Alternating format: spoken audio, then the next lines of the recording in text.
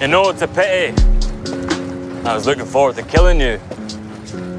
At the back of a long queue. My white flag is a flag of truce.